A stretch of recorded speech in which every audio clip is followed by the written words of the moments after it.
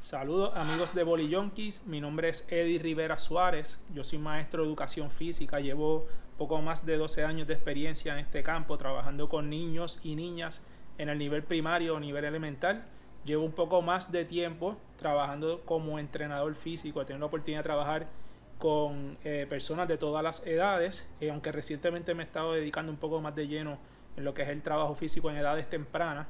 Y también pues, soy fundador de la página comunidad21.com. Así que si no sabes lo que es eh, C21, si no lo has conocido, pues te exhorto a que entres a, la página y veas el trabajo que estamos haciendo con lo que es la historia del deporte eh, aquí en Puerto Rico. Pero bueno, hoy vamos a estar hablando eh, con relación a lo que es el trabajo físico en edades tempranas. Edades tempranas entre los 5 o 6 años hasta los 11, 12 años es, es a lo que voy a estar refiriéndome en el día de hoy.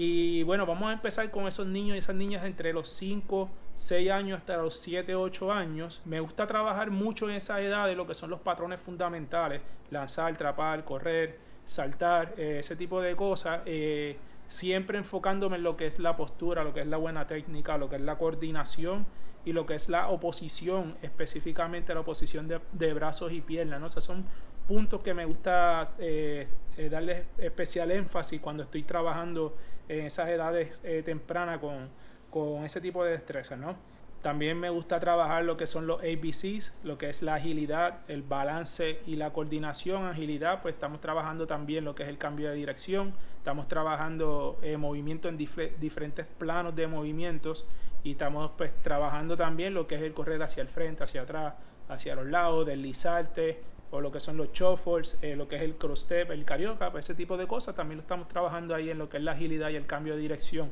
El balance, ustedes deben saber ya que el balance es un buen ejercicio a toda edad, o sea, no, no es solamente en edades pequeñas, sino en cualquier edad, pues porque eso ayuda más que nada a evitar lesiones, ayuda a fortalecer lo que es el tobillo, las rodillas, la cadera, ayuda a trabajar el core también y en el caso de edades, de esas edades tempranas, me gusta trabajarlo también porque ayuda con la postura. Así que yo sigo enfocándome en esa postura que esté, que esté lo,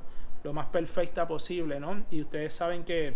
cuando estamos trabajando con postura, con técnica, pues volvemos, nos ayuda también a evitar una futura lesión en ese niño, en esa niña. Eh, también trabajamos lo que es la velocidad y también trabajamos lo que es la conciencia espacial, específicamente en esos niños pequeños de esos 5 o 6 años la conciencia espacial pues no está muy bien desarrollada todavía, así que la estamos trabajando también y todo esto lo hacemos eh, a base de juegos más que nada, buscamos que el niño se divierta y que la pase bien, pero a la misma vez pues también estamos trabajando con ese tipo de destreza.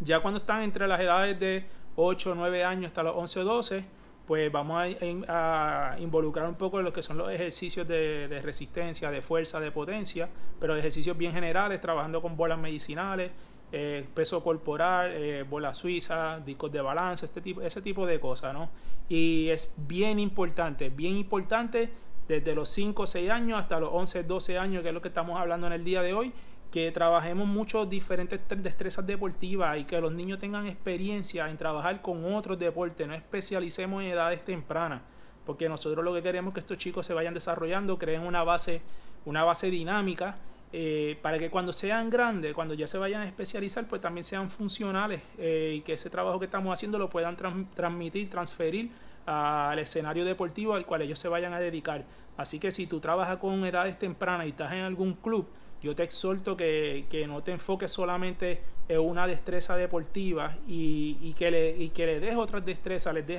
les des esas experiencias, ¿no? Así que buscamos también que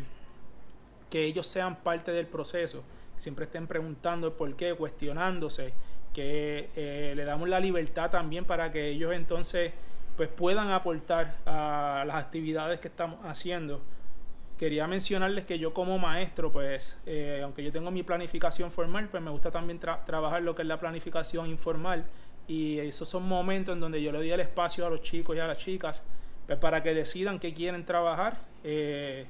tienen que ponerse de acuerdo, obviamente, así que ahí tiene que haber una socialización, una interacción y pues entre ellos pues, van, a, van a decidir qué quieren trabajar, cómo lo quieren trabajar y entonces ya pues estoy haciendo al niño o a la niña el centro de lo que es la educación y yo pues me mantengo un poquito más atrás y obviamente voy a estar guiando, pero voy a estar tratando de dar eh, el menos feedback posible y que sean ellos los que estén aprendiendo a base de lo que es la exploración, de lo que es la experiencia y de lo que son los errores, ¿no? Así que, pues nada, eh, muchas gracias Manolo, gracias a Boli Yonki por esta oportunidad de dejarme compartir eh, pues mis conocimientos, ¿verdad? A base de las experiencias que he tenido como profesional. Y bueno, si en algún momento pues, quieren contactarme, pueden hacerlo a través de las redes sociales de Comunidad 21. Si acaso me pueden buscar como 21 es comunidad, me pueden escribir por ahí y estaremos aquí a la orden. Así que muchas gracias.